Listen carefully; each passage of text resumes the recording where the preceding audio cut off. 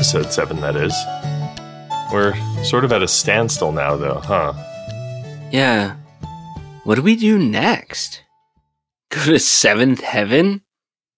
Drink a gallon of 7 Up and then puke our brains out? Nah. We already talked about heaven in Ep 6. And we were on soda during most of Ep 4. Fun times for sure, but carbonation makes us gassy. It makes me fussy. well, yes. The gas, which is essentially air pressure in the abdomen, makes you quite fussy. I try to swallow less air when I eat or drink to prevent the issue from arising. But I don't want to talk about gas so much. It's a well worn topic to, that comedy podcasts often quite effectively cover. It's suitable for the medium because audio engineers can add relevant sound effects to get the message across. As gentlemen, it's taste for us to delve into this well worn and, dare I say, nasty topic. We get it. Gas erupts. Fuck it. Let's move on. Exactly. But yeah, uh, there's not much that I can think of that's that's worth covering for this episode. I mean, in, in previous episodes, we've we've already discussed illegal poaching, long distance relationships, uh, Bill Maher, and all sorts of other shenanigans. There's not much left, and unless we want to get technical. Well, let's just start the episode anyway, and we can go off our feelings. Yeah, I guess whatever strikes us as the cool thing to say at the time will probably end up being lit for the episode. Well, if we want to get our minds moving, we can always get drunk. Uh, are you drinking something right now? A bottle of water. Oh, cool. What what kind? Sparkletts. Y- you know Sparkletts. It's delicious. I know of it. I've seen the trucks from Sparkletts sparkling on the road. Sometimes a, a glint of sun reflecting off the the glitter momentarily stuns me with blindness while I'm doing some maneuver. Same, but I don't mind because Sparkletts taste so delectable. Sparkletts water falls from the sky in seemingly special clouds.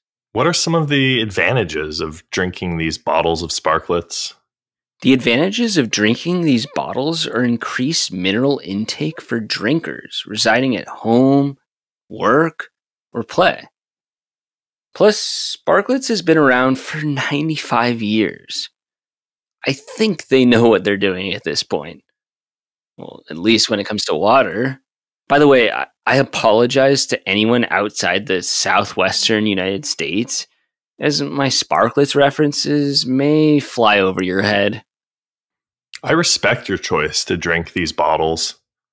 Yet I prefer to get my water from faucets or spouts nationwide. These permanent fixtures have been installed by extremely talented technicians for a reason. All you need to do is pull the handle and a stream of gushing liquid inevitably comes flying out. Sometimes you don't even need to pull the handle. The designs vary considerably. I like those faucets in certain restaurants or hotels where the water cascades down different levels before reaching my hands.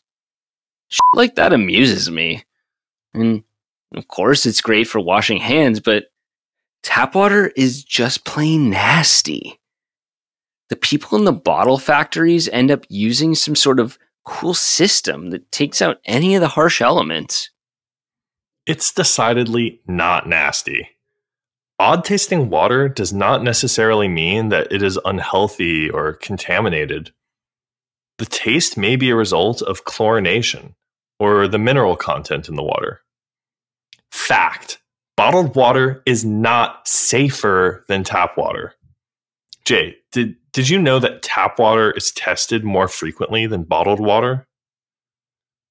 No. I thought not.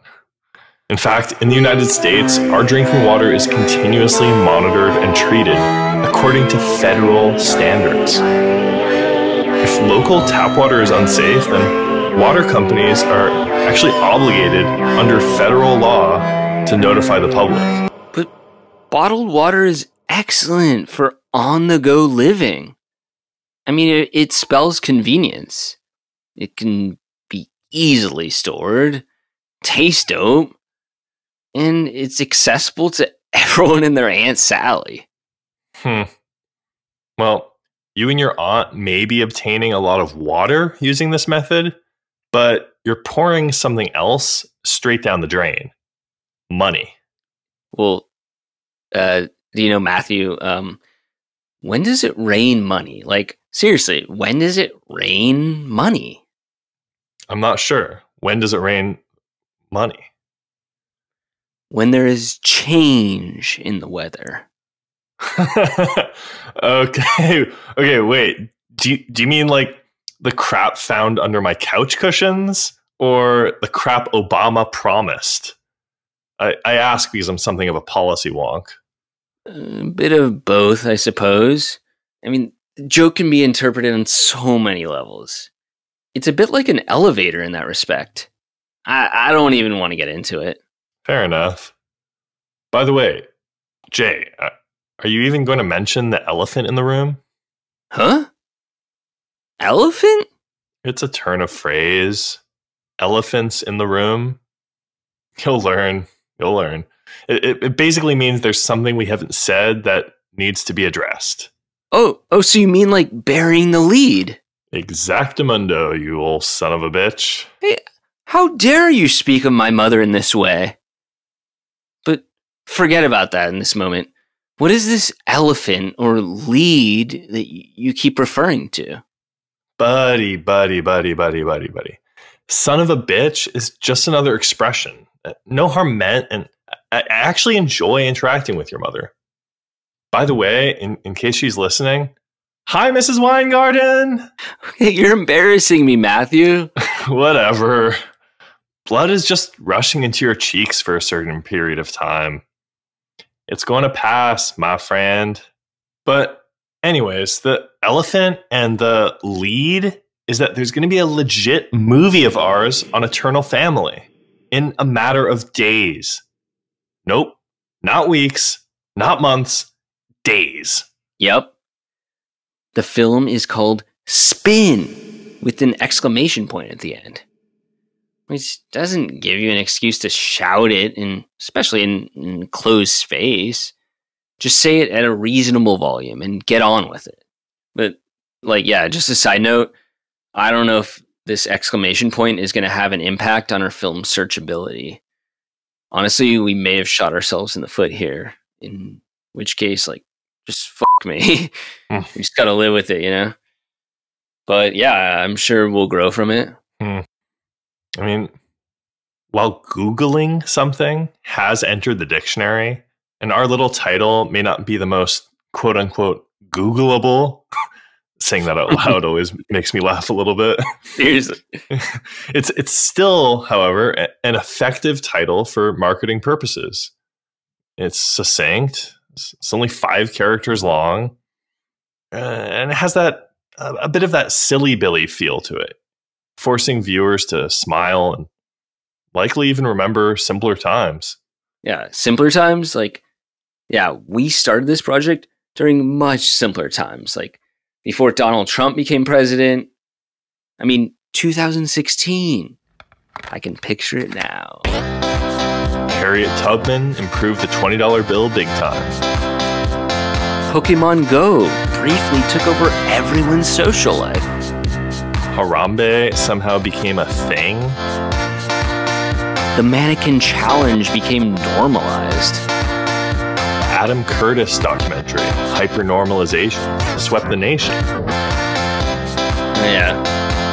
Isn't that back when we were busting our asses in LA? Like, we were hitting the stage 20 to 25 times a week. Just improving and workshopping, too. Oh, yeah. Wasn't that also the year I hit up your sister's B Day party? She and a group of her close friends were camping in Malibu Creek State Park. And she was hospitable enough to let me join the quote unquote crew. I had fleas at the time, by the way, so hopefully I didn't transmit that to her homies. homies tend to be pretty understanding about that sort of thing.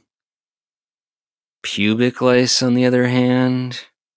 Oh, yeah. I remember how I reacted to my really close friend who had crabs.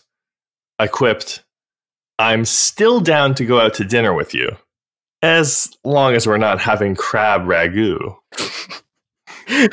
but by the way, remember when you said that turn of phrase, elephant in the room?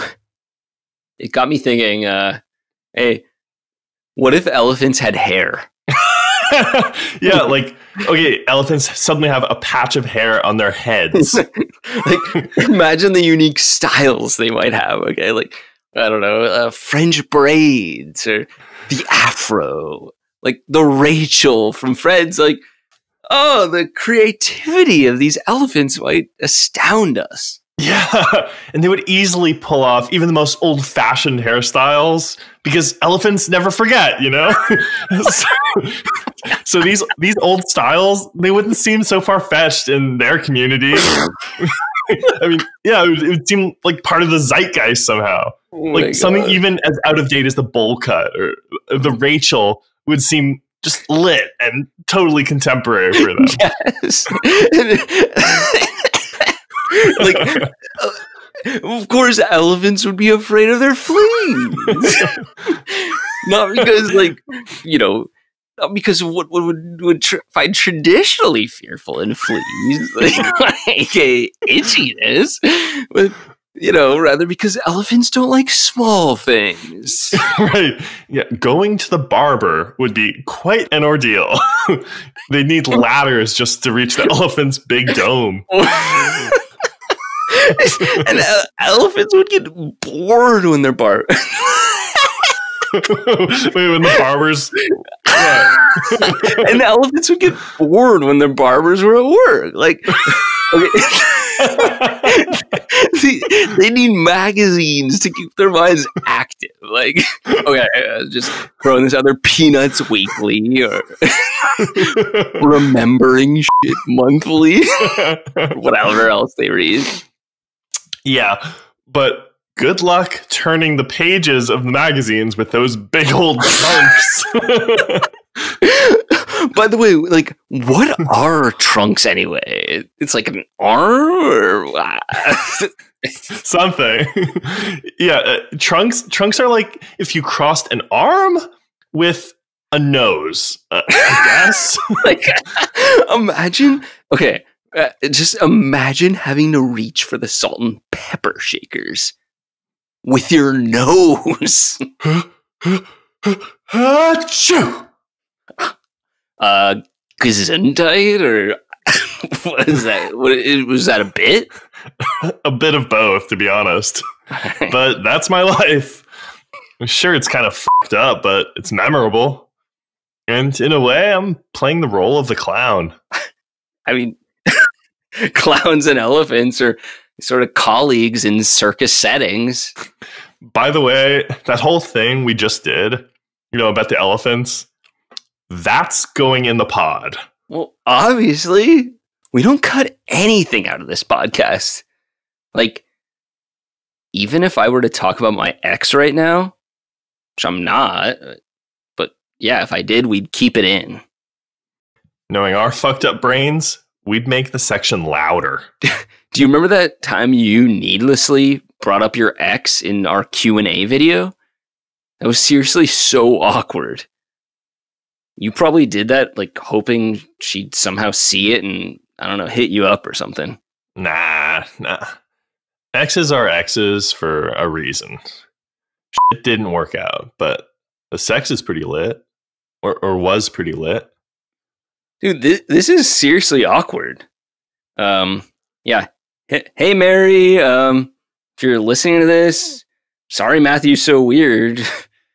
I mean, I mean, you knew this already because you dated him, but honestly, he's actually a pretty good and well-rounded guy nowadays who's not only interested in physical lust. Whatever. I'm actually in a relationship and very happy right now. And my ex and I are friends. I always stay friends with my exes. And there should be no major issues with this. That's awesome. Well, what else is floating your proverbial boat nowadays? Jay, enough with the pleasantries. Let's just get on to it. Oh, so you mean I should introduce Donny Divanian? I can't see a good reason not to. He was down to be a guest on this episode. I like Donny, and I'm excited to introduce him as a guest. Likewise. Well, shall we reel him in? Mm, he's biting!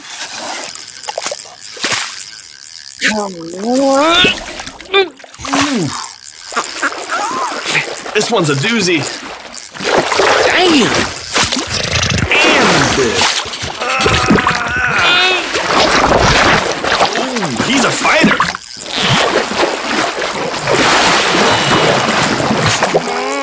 Mm. He's big!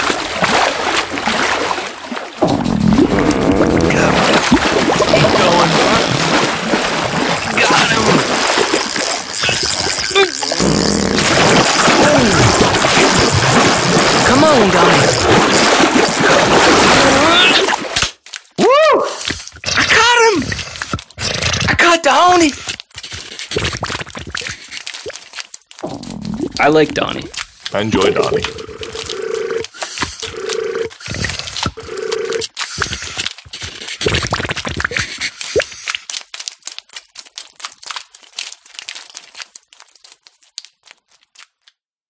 Good evening, Donny. Oh, um, well, it's not evening in the slightest.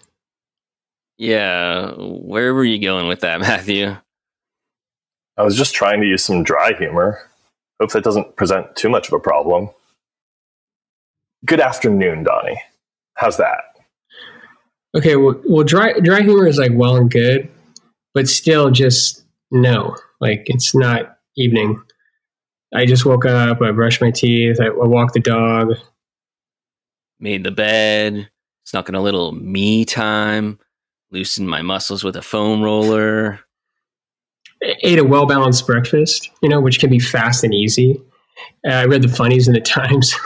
I crossed off yesterday from the uh, calendar. Drank tea because I'm not a fan of water and coffee right now. And I also reviewed my previous day's spending. Oh, by the way, not only is tea healthy, but recent studies show it might even boost your creativity. In in my defense, though, uh, even though it's not evening, there is a case to be made for doing these activities during or around dusk. You'd have to be as out of touch as Dennis the Menace to deny that breakfast is better at night. Oh yeah. Breakfast at night. Dude, um, do you remember that time at the diner? Like, I think it was like me, you, Donny, and like just a whole slew of hilarious comics. And yeah, no, honestly, we were losing our shit. Like, I, yeah, no, that was definitely one of the best nights of my life. But unfortunately, I don't see myself recreating that experience for myself. Can you two fools like grab the ketchup bottles and pretend they were mics? Oh my god! I remember you guys both made outrageous toasts to the group. Everyone was like reeling with laughter. Yup. And Donny, you were swearing like a sailor to the waiter because you were influenced by Lenny Bruce. Yeah. Yeah. Remember you even dropped that F bomb when you were discussing the inheritance tax with me? Oh, I, I don't exactly remember that. Well, what was the context again? You said fuck while proving a point in your argument about how, you know, Class A beneficiaries are filing the Form L8 to secure the release of bank accounts and, you know, bonds and brokerage accounts. Sounds like me. Yeah. We'd all had one too many drinks that night.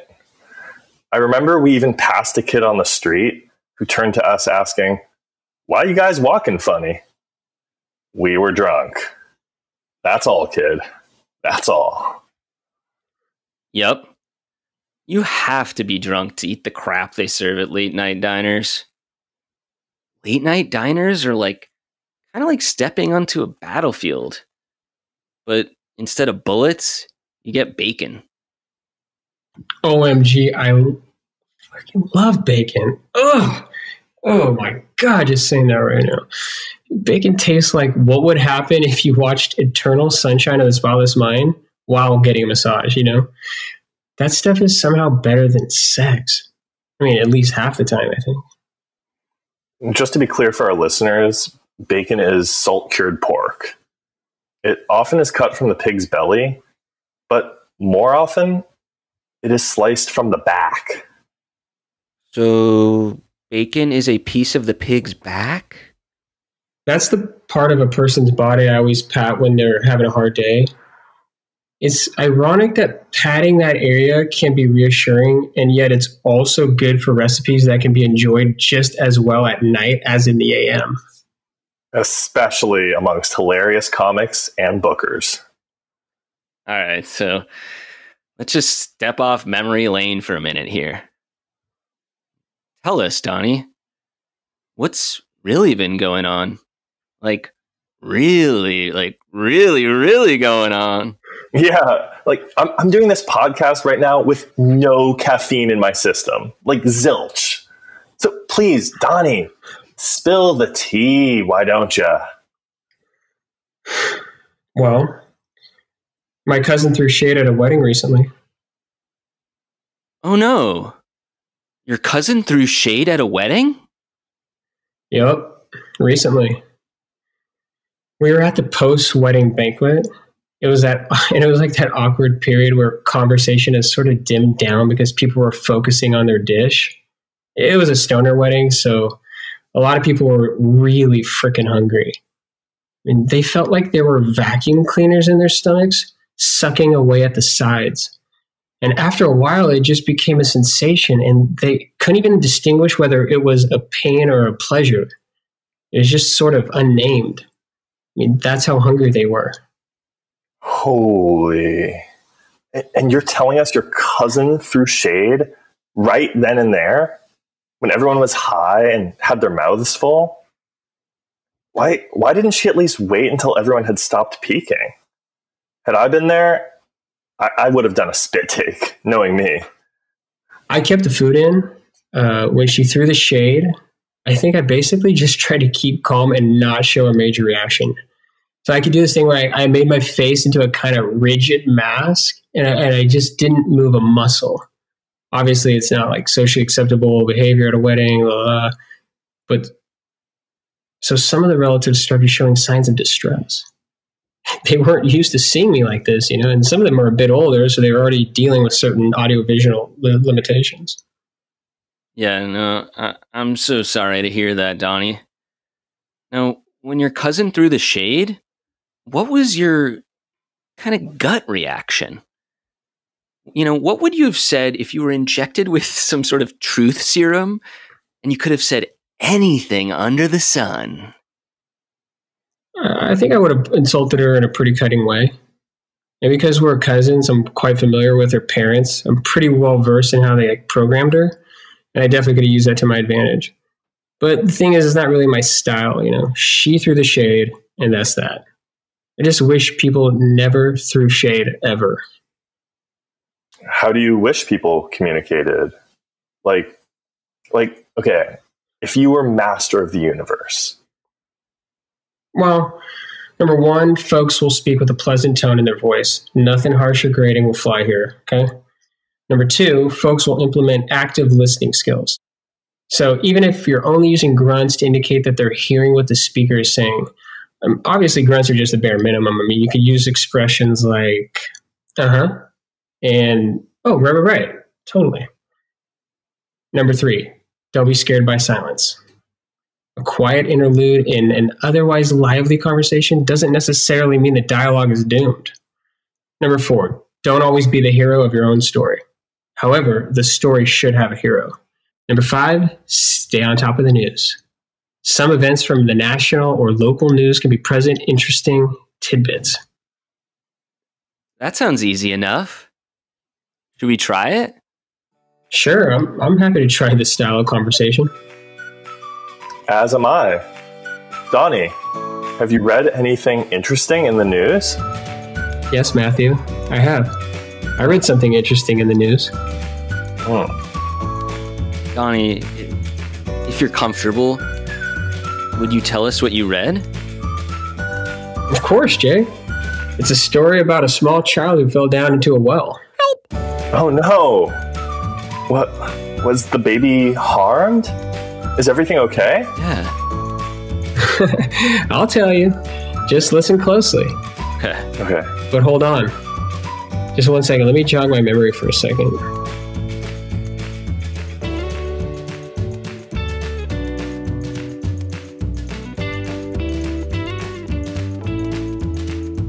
Thanks for waiting. Baby Jessica fell into a well in her aunt's backyard in Midland, Texas. Rescuers worked for 56 hours to free her from the 8 inch well, kissing 22 feet below the ground. Whoa. Thanks for letting us know about that, Donny. Mm-hmm. Now, was the rescue of baby Jessica a challenging ordeal, or was it relatively smooth sailing? Oh, it's a great question. It was a whole thing. Within hours of beginning the emergency procedure, the Midland Fire and the police departments devised a plan that involved drilling a shaft parallel to the well and then drilling a tunnel at a right angle across to it. Oh. So enlist, yeah, enlisting the help of a variety of local and often at work oil drillers, the Midland officials had hoped to free baby Jesus in minutes. Oh. However, the first workers to arrive on the scene found their tools barely adequate to penetrate the hard rock around the well. Yeah, it took about six hours to drill the shaft and longer to drill the tunnel because the jackhammers were used designed for drilling downwards rather than sideways, you know? Hey. A mining engineer arrived to help supervise, not only supervise, but coordinate the rescue effort. TV viewers were reassured when they heard baby Jessica singing Winnie the Pooh from deep in the well. Oh. Okay. Yeah. As long as she was still singing, they knew she was alive. I love that system. Yes. When baby Jessica was rescued, Robert O'Donnell was ultimately able to inch his way into the tunnel and wrestle her from the confines of the well, handing her to Steve Forbes, you know, who carried her up to safety, and then to Bill Queen, who carried her to the waiting ambulance. They emerged from the ordeal as fucking legends. Wow. Well, three cheers for Robert O'Donnell, Steve Forbes, and Bill Queen. Those three were jolly good fellows. Those three were jolly good fellows. Those three were jolly good fellows. Which Which nobody could deny. Least of all, baby Jessica.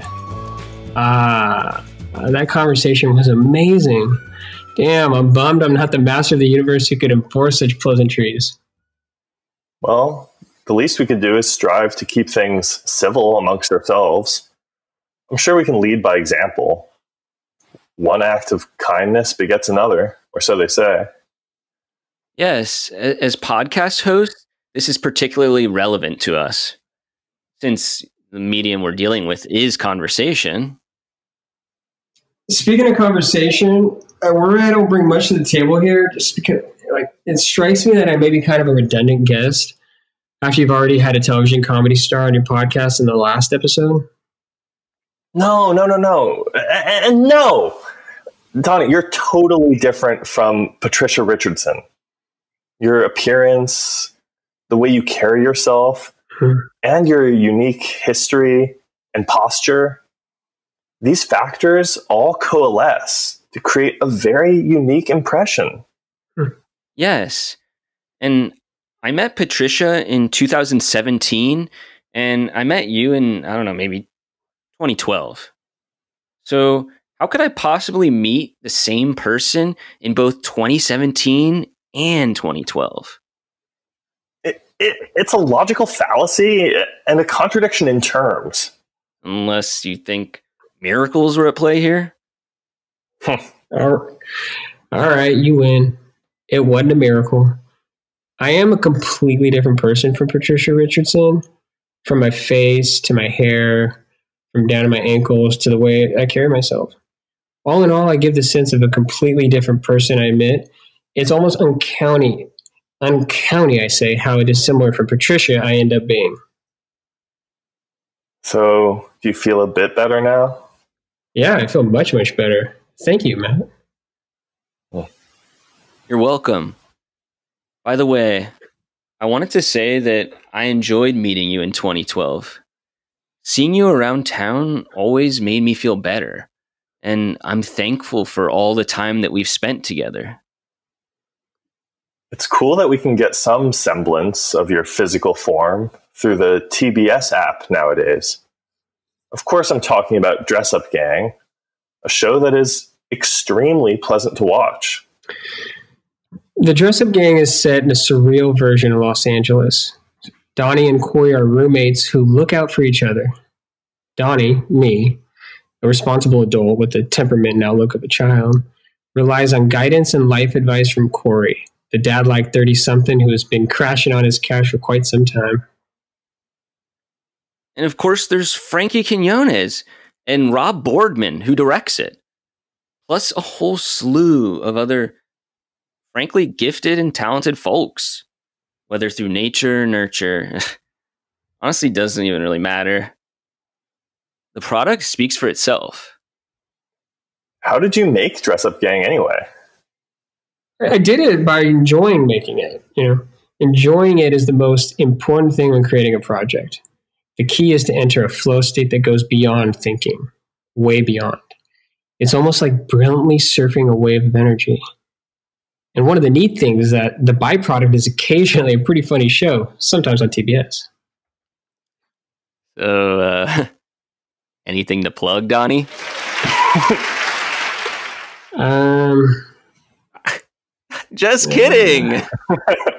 you already plugged your show, Dress Up Gang which is available on the TBS app and VOD. By the way, can I? I just want to say, how insane is it that you're on the same network as Conan? Like, okay, it's just spitballing here, but I think Conan should have you on as a guest, okay, and like just let you be principal for the day. I mean, really, Donny, you're the new likable, youthful guy. And uh, course, after you appear as a guest numerous times and testing your mettle and the quickness of your funny bone, Conan should pass the proverbial torch. I wouldn't say no. Conan O'Brien was a, was a major influence on me at one point, though I've tried to like stick to my own path in recent months. But like taking his throne would be a nice way for things to just come full circle. First thing I do is fire his drummer Max Weinberg and suffice it to say, I'm, I'm going to be making a lot of changes around here. Brutal, but decently fair. Decently fair. Hey, may- maybe you could hire us. like, even if it's just performing heavy cleaning duties and notifying management of need for repairs in designated building areas. Like, we don't need to start in the writer's room or anything. Not at all. Just being on or near the set would be a great way for us to make valuable contacts and eventually get a so-called leg up in in this pretty complex field. Man, fuck this field. Huh? Plastic houses and plastic lives. You know, it's like I say this thing, it's like TV entertainment where nose jobs are more common than just good sense. if I see one more loser in a Starbucks writing his so called genius pilot, I'm going to barf in my mouth a little bit. And then go postal. And I mean it this time. You always say you mean it, but you never do it.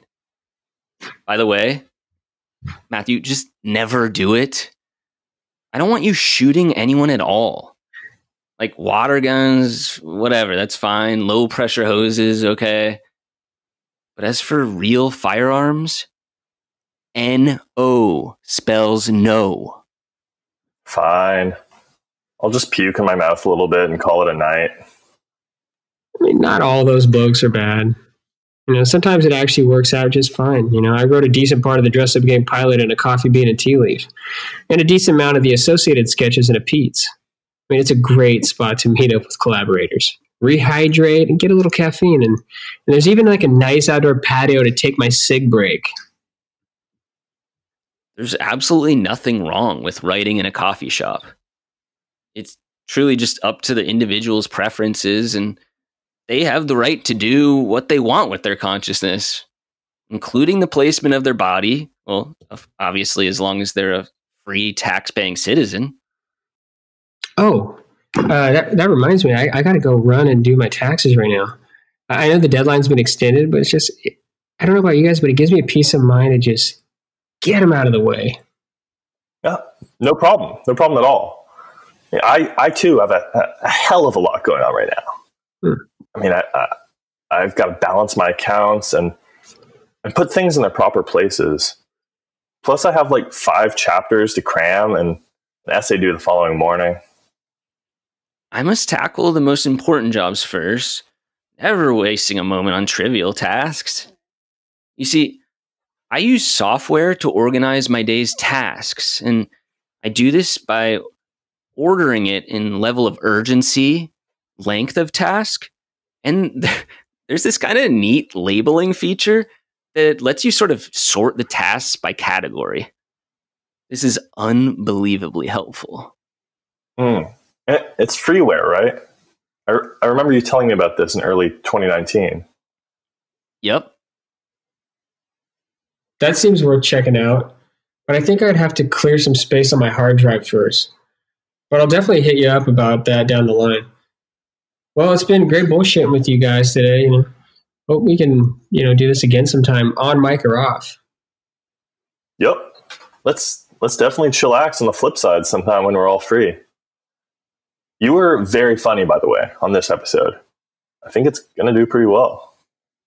Well, obviously, we don't have access to the metrics or anything like that, like as I'm saying this, but once Matthew and I get into, okay, we have this weird routine where basically we just dim the lights and we turn on a humidifier and yeah, we end up checking our analytics. And I can safely say, Donny, that your episode is going to be a hit and the numbers will be in the thousands. And let me just say, and I often say this numbers don't lie. Oh, thank you so much. And speaking of numbers, my uh, cursor is actually hovering over the TurboTax app right now, and my trigger finger is getting antsy. I I want to let you get into your routine and get comfortable. You love getting things done, and been wanting to do this a long time. So just fire up the app. Let's do this, people. You got this, Donny. But hit us up if you have any questions. We're only a swipe of the thumb away. All right, I'm off. You guys have a good one. Take care. Take care, Donny. Bye. Bye, Donny. Yeah. Bye. Take care. Take care, Donny. Bye. Bye, Donny. Bye. Take care. Take care. Take care, Donny. Bye. Bye, Donny. Bye. Take care. Take care. Take care, Donny. Bye,